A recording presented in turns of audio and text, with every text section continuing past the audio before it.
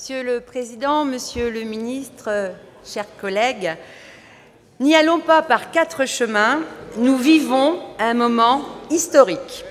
Le débat, depuis cet après-midi s'inscrit en effet dans un long processus jalonné, cela a été dit, d'embûches, de choses-trappes, d'avancées et de reculs.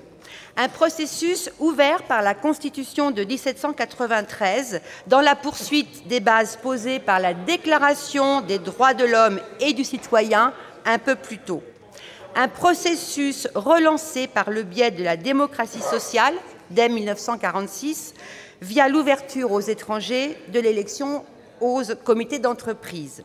Un processus accéléré, partiellement du moins c'est vrai, au début des années 90 en accordant le droit de vote aux ressortissants communautaires. Nous vivons, oui, une journée historique car nous allons créer un nouveau droit dans le respect de la tradition qui honore notre République et qui fait d'elle un merveilleux outil au service du progrès, au service de la liberté et de la conquête de nouveaux droits civiques et politiques pour toutes et pour tous. Oui, nous allons aujourd'hui créer un nouveau droit, et quel droit?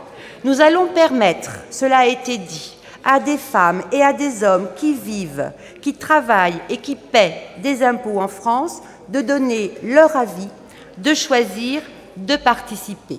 Bref, d'être enfin considérés comme des citoyens comme les autres. Peu importe l'origine, peu importe la religion ou l'absence de religion, peu importe la condition sociale, le sexe ou la couleur de la peau.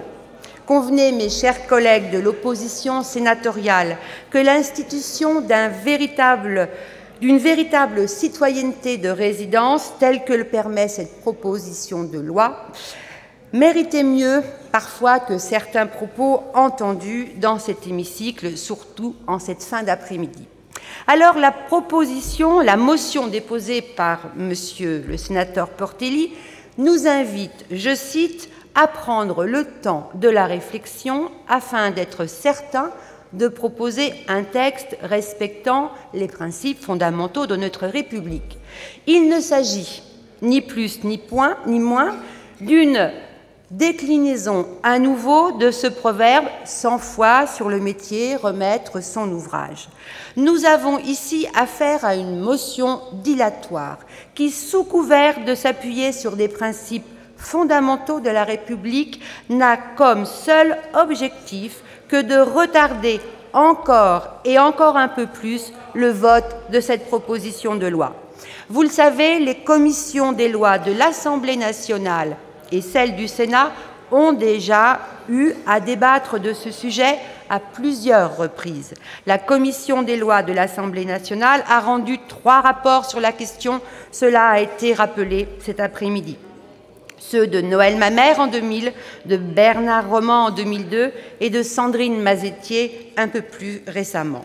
Et si au Sénat, il n'y a pas eu de rapport avant celui de notre collègue euh, Esther Benbassa, que je salue et que je remercie pour la qualité de son travail, c'est tout simplement parce que vous n'avez, mesdames et messieurs membres de l'opposition, vous avez refusé d'ouvrir ce débat ici au Sénat notamment en vous opposant, en janvier 2006, à la discussion d'un texte dont il était demandé l'examen immédiat par Jean-Pierre Bell, Marie-Christine Blandin et Nicole Borvo-Cohen-Seat. Si, comme vous le prétendez par cette motion de renvoi en commission, le texte comportait une quelconque difficulté au regard des principes fondamentaux de notre République, pourquoi ne pas avoir agi de manière constructive en proposant des amendements de fond pour y remédier alors?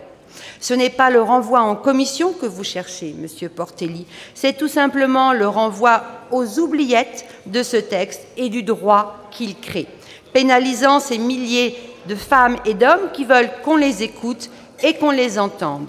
Les Françaises et les Français attendent de nous du courage et de l'audace. Ils attendent des réponses et des actes.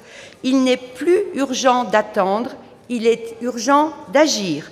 Et je vous propose, mes chers collègues, de rejeter cette motion tendant au renvoi en commission et d'ouvrir sans tarder la discussion sur le fond de cette proposition de loi. Je vous remercie.